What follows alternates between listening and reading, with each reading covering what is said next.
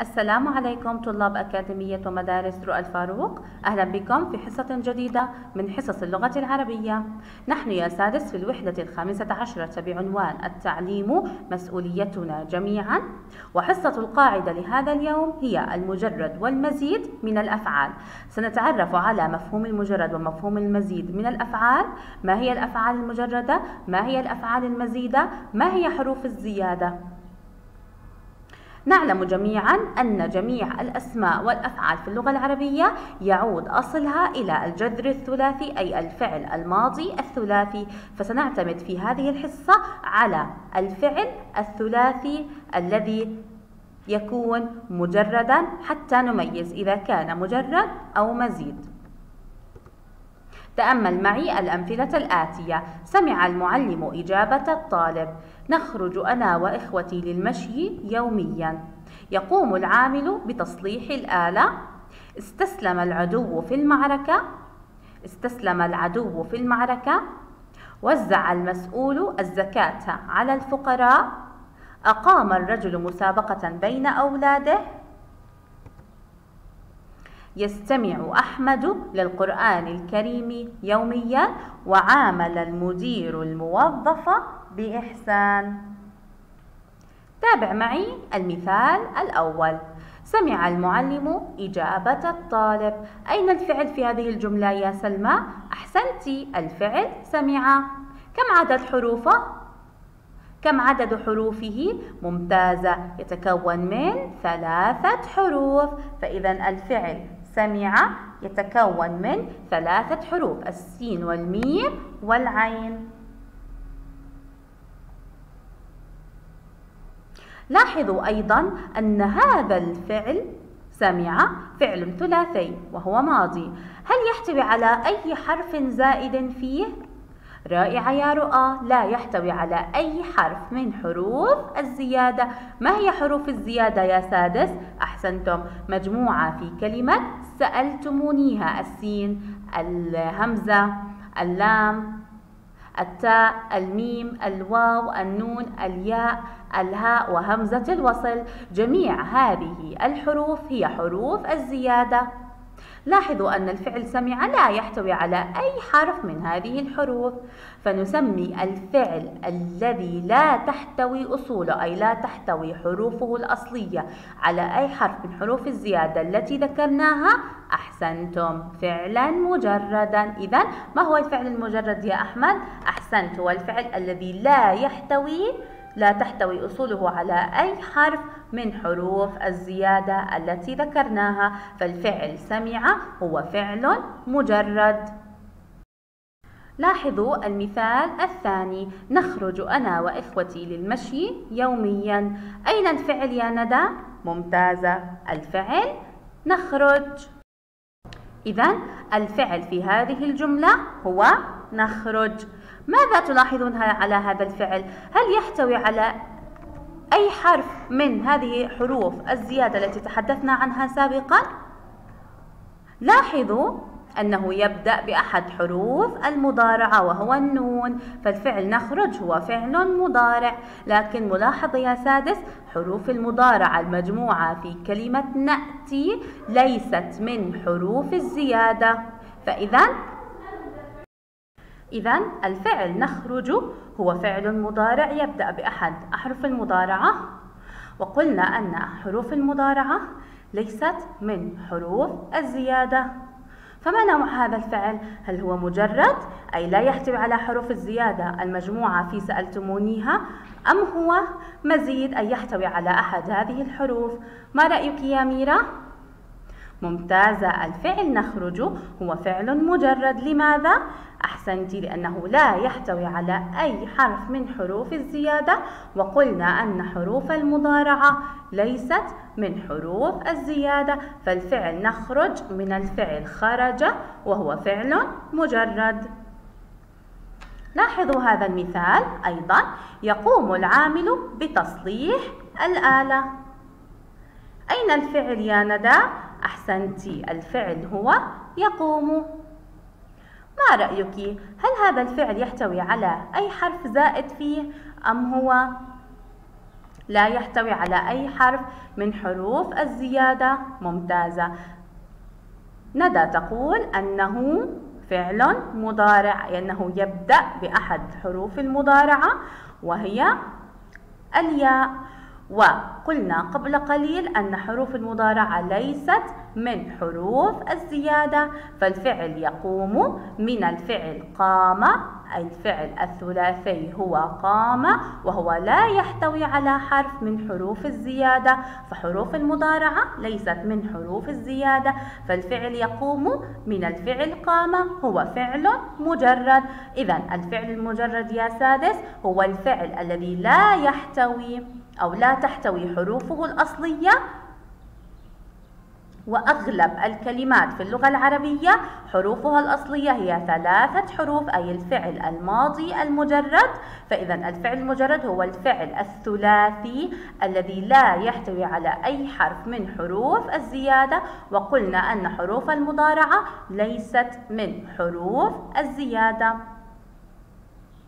لاحظوا معي هذا المثال استسلم العدو في المعركة أين الفعل يا مرح؟ أحسنت استسلم ماذا تلاحظين على هذا الفعل؟ هل هو فعل مجرد كما قلنا لا يحتوي على حروف الزيادة أم هناك زيادة موجودة في حروفه؟ أحسنت يا مرح هناك زيادة في حروفه ما هي الحروف الزائدة فيه؟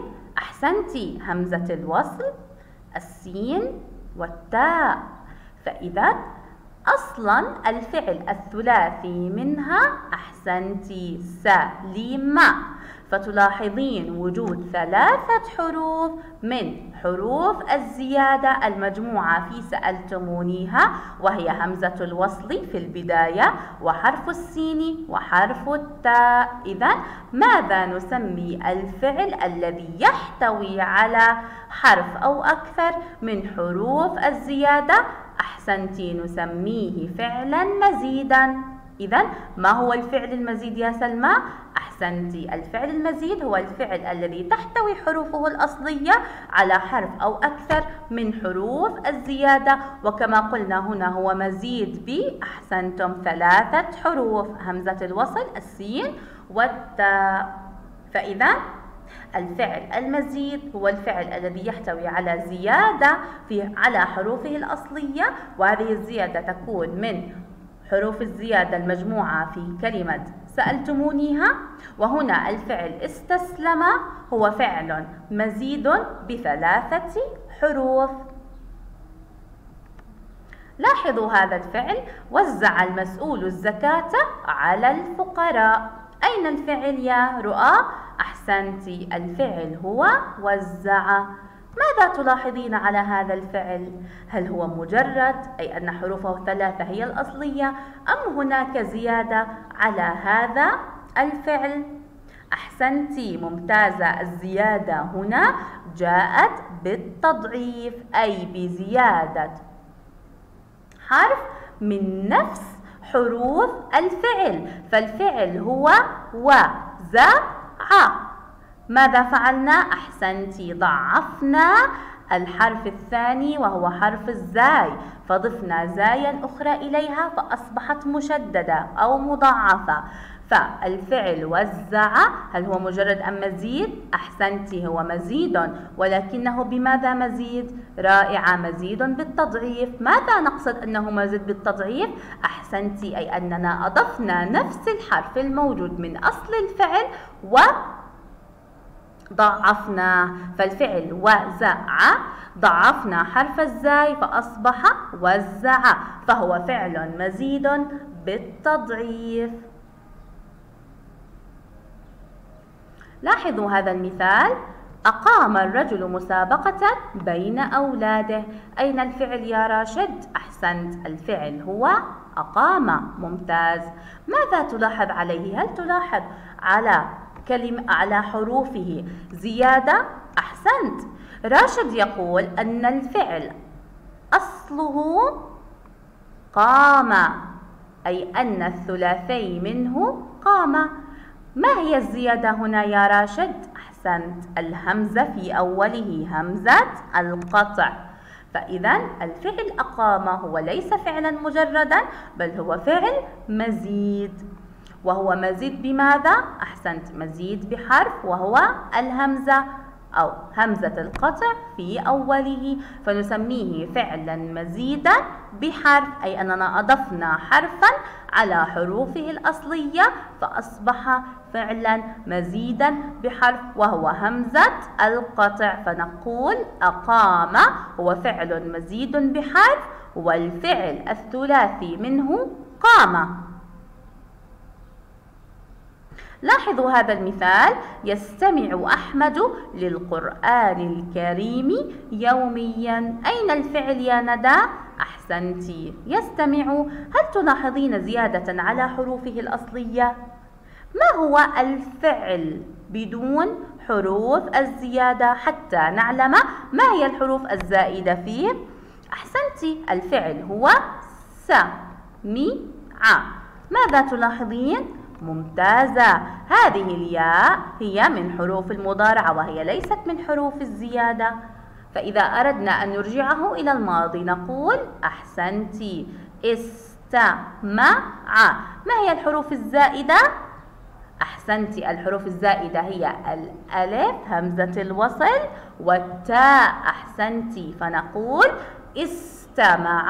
من الفعل سمع فالفعل استمع أو يستمع هو فعل مزيد. أحسنتي وهو من الفعل استمع مزيد بحرفين.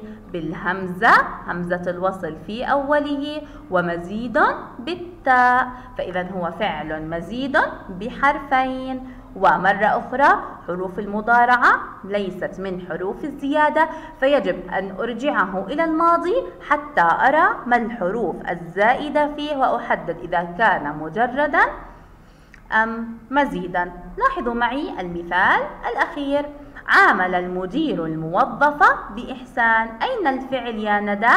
أحسنتي الفعل هو عامل ماذا تلاحظين عليه؟ هل يوجد فيه زيادة في الحروف؟ أحسنتي. الزيادة جاءت في الألف في منتصفه. ممتازة أحسنتي. فإذا الفعل أصله أي الفعل الثلاثي منه عمل ما الزيادة؟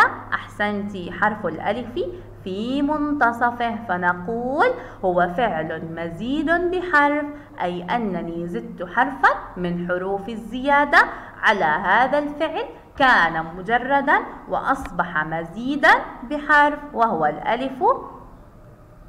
ثاني حروف هذا الفعل أو في منتصف هذا الفعل. إذا يا سادس يجب أن نميز بين مفهوم الفعل المجرد ومفهوم الفعل المزيد سواء بحرف بحرفين بثلاثة حروف أو بالتضعيف.